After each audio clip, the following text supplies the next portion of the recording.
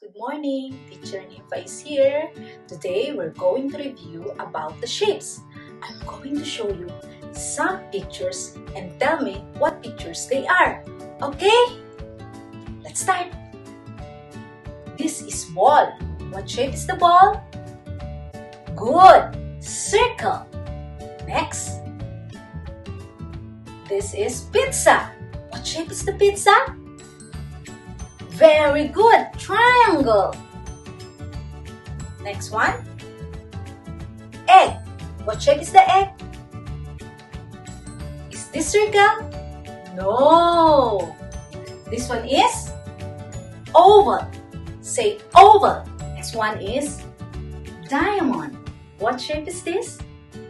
Diamond. Okay. Next. A cell phone. What shape is this? I can't hear you. Very good. This one is rectangle. Next one, a picture frame. What shape is this?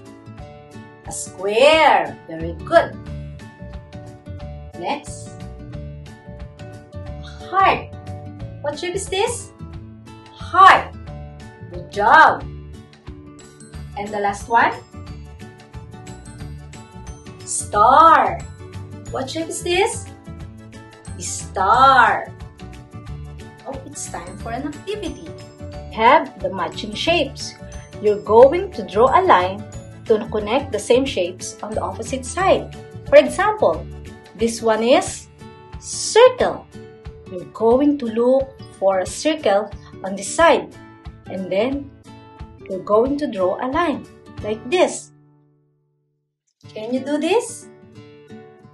Good.